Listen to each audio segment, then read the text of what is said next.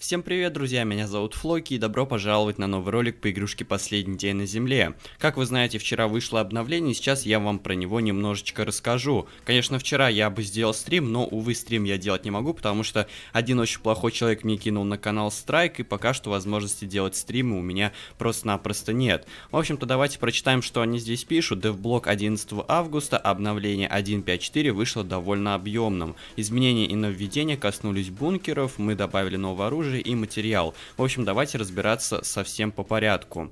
А начнем с бункеров. Второй этаж Альфа ждет первых смельчаков. Врагов стало больше, но и награды ценнее. Уникальные детали для новых рецептов и новый вид ресурса, о котором расскажем далее, можно будет найти только там. Следовать советам топовых стримеров дело мудрое, но искать свою тактику не менее интересно. Как и обещали, оптимизировали бункер, и теперь он доступен для прохождения пользователям iPhone 5. Чтобы порадовать самых искушенных любителей оружия, мы добавили в игру несколько модификаций. Увеличенный магазин, глушитель, коллиматорный и лазерный прицелы, Пока их можно найти только вместе с оружием и нельзя снять или изменить. В будущем планируем дать возможность менять каждое оружие под себя. Сейчас модифицировать можно Glock, АК-47 и М16. Увеличенный магазин повышает прочность оружия, лазерный прицел наносимый урон, а коллиматорный прицел влияет на дальность стрельбы. Думаем, с глушителем все и так ясно. Вернемся к рецептам, чертежам и ресурсам. Теперь вы сможете собрать стол оружейника, используйте его для изготовления компонентов огнестрельного оружия. Мы добавили новый материал алюминий, в связи с чем в плавильне верстаке верстаке также появились новые рецепты. Он будет использоваться в производстве оружия и некоторых конструкциях.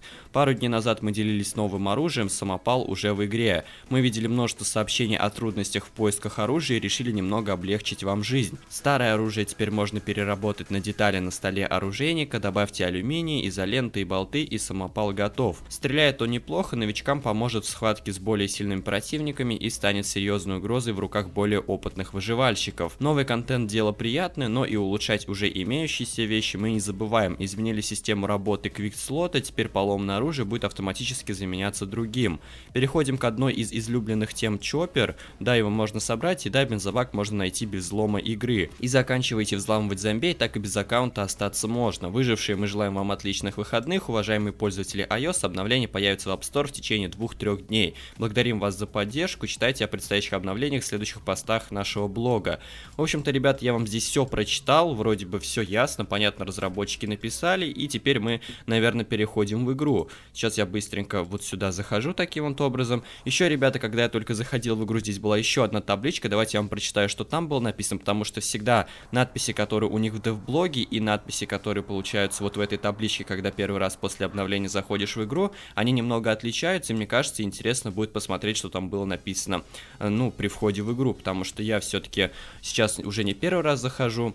Ну, в общем, давайте вам прочитаю. Что нового версия 1.5.4? Бункеры. Похоже, мощности генератора хватит, чтобы спуститься на второй этаж бункера Альфа, но внутри вас ждет еще больше опасностей и несколько приятных сюрпризов. Шанс получить запчасти от Чоппера в финальных ящиках был увеличен, время заводить моторы. Оружие. В игре появилось новое оружие самопал, легко собирается, неплохо стреляет и станет серьезной угрозой в руках опытных выживальщиков, хотя было до этого написано то, что он больше подходит для новичков. Еще больше удобства в обращении с оружием, изношенная единица автоматически заменяется на новую из квикслота. Чтобы порадовать самых искушенных любителей оружия, мы добавили в игру несколько модификаций. Это все понятно, ищите новые образцы в бункерах. Рецепты и чертежи мы добавили новый материал алюминиум, будет использоваться в производстве оружия и некоторых конструкций. Обратите внимание на новые рецепты в плавильне и верстаке. Теперь вы сможете построить и собрать стол оружейника, используйте его для изготовления компонентов огнестрельного оружия. Ну, в общем-то, по поводу этого все, и давайте теперь уже полноценно полноценно переходим в игру и смотрим, что вообще интересного здесь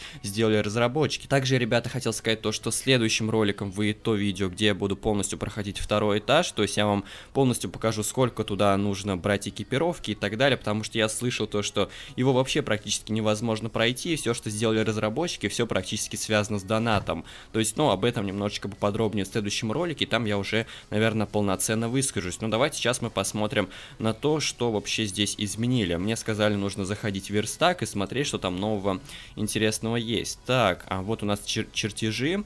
И дальше я смотрю, получается, на что. Мне нужно найти тот стол оружейника. Ага, он крафтится из 15 досок, потом 25 слитков, 20 резиновых деталей, 10 алюминия и 20 гвоздей. Потом самопал здесь, ну, вы тоже все это посмотрите. Оружейные детали, я так понимаю, можно в столе оружейника получить. Ну, честно скажу, алюминий можно найти только, получается, на втором этаже. Даже нет, не только на втором этаже, и на первом можно найти. Потому что я вот первый только что зачищал, и там тоже нашел алюминиевую проволоку. Значит, слиток алюминиевый можно найти и на первом этаже. То есть, ну, я, честно говоря, не знаю. Все-таки самопал сделан серьезно не для новичков, и на начальных стадиях игры он вам точно никак не поможет. То есть, в чем весь прикол? Вам нужно сначала сходить в это подземелье, то есть хотя бы первый этаж зачистить два раза, потому что мне выпало только 4 алюминиевые проволоки, то есть из 4 алюминиевых проволок, сколько там у нас получается всего этого делается, где у меня тут печки-то мои? Вот мои печки, давайте глянем, сколько а, нужно для получения одного алюминиевого слитка. То есть, смотрите, мне нужно целых две алюминиевые проволоки для одного алюминиевого слитка. То есть, я нашел только 4 на первом этаже, то есть, мне как минимум нужно сходить два раза. Хотя, конечно, шансы будут отличаться, короче, не знаю, но вам 100% придется зачистить вот это вот подземелье хотя бы один этаж.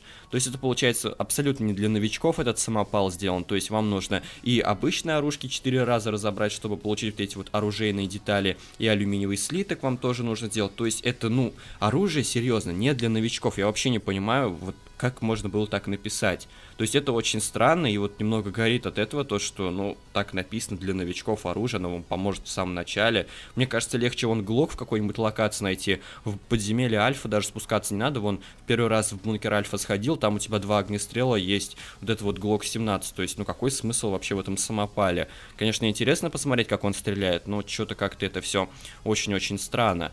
Также давайте посмотрим, что там еще разработчики нового добавили.